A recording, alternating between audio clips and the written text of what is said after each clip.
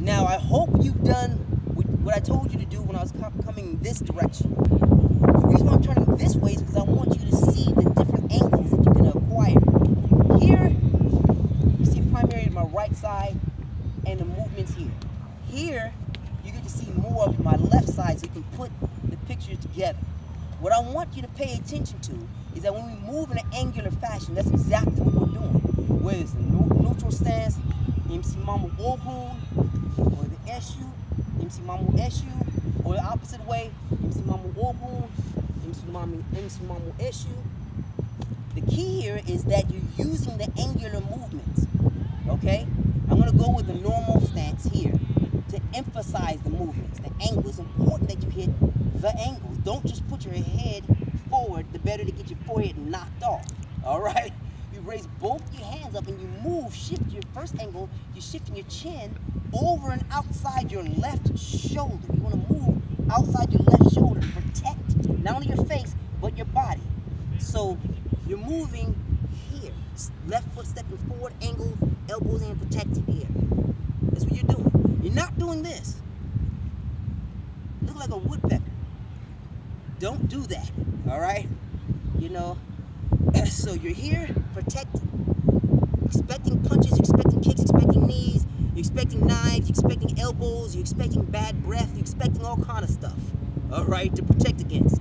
When you go forward, I was doing this to, em to emphasize the fact that you're going in a straight line. But the concept is you're moving your head below the strike and inside of an attack, and you're also preparing yourself for the headbutt, which I can't get into in this instructional, all right? But you have to learn the mechanics for it now, all right? You're also learning the movement for being able to actually press your face into your opponent's chest so he can't hit you. It allows you to apply the clinches and everything, the takedowns and all the other good stuff. I have a bunch of nasty stuff that you can do there, which is not in this instructional, but you have to learn this movement here, protecting it. You have to learn, remember, to dip out and back. Dip out and back at an angle, not here, where your opponent can still hit you.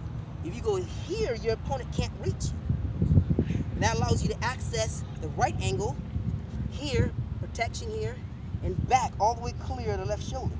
So it's here, left shoulder outside, clear right shoulder, here, dip and roll. Right, here and back, or here and roll back.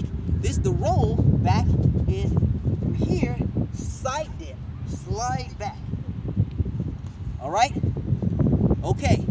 Now, with that being done, to help me on the application, KD, okay, we're going to go nice and slow off of the jab because I don't want to confuse anyone. Based upon some of the emails I received, I started applying it to the weapons and knees and all that good stuff, it's confusing people. So I want to make it simple and as basic as I possibly can. So, off of the jab, if you would please, nice and slow. So I throw the jab and I slide here. Notice the hand is up protecting elbows, hand is here against against against uh, knees and body movement coming in. Also, let me turn you this way. If he throws, if he retracts his right hand and throws a left in my face, I can easily check and block here. All this from because this position is here. All this from here. The other thing is, if I'm still stupid enough to stand here, I don't got blocked by my elbow, what you're supposed to do is, as he retracts and he throws a punch, you slide, throws if he throws the left, you slide all the way back to the right, which is this angle here, here. First angle, which is why it's so important to go all the way. If you go only half of the way, you slide here, you might slide the jab here, but if you go a half of the way, you track the jab back, boom, you go right into his punch. That's why, turning here, notice my head dips shoulder lower than the shoulder. He throws a punch here, so when he retracts, it's easier for me to slide right. You see that? Right out of the way. Also, if he throws here and I slide, and as I'm coming back, he steps forward his left knee and uh, left leg and throws a right knee at me. Come on, right here. I'm able to. I'm already because I'm already dipping into the block. My defense is already here. It's already here. Checking that thing easily. I'll check the knee. I'm checking that the, the attacks available to him in the order of the threat that they present. All right, here, boom, running out, being here. If he's throwing the left, go, go throw the left, boom, already out, defense up. All right, so let's go to work here. Two rounds, three minutes. I want it done like that all the way down, all the way down to the ground, all the way down to the ground. We get down low, all the way down here. All the way down here. Left leg in front, right leg in front. Here, shifting, roll, shifting, roll here, side to side. We go side to side, always touch the ground. Boom, side to side. Here, shifting.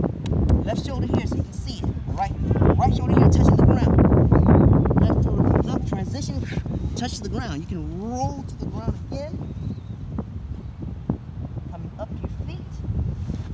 Transitioning here, here, here, here, here, here, here.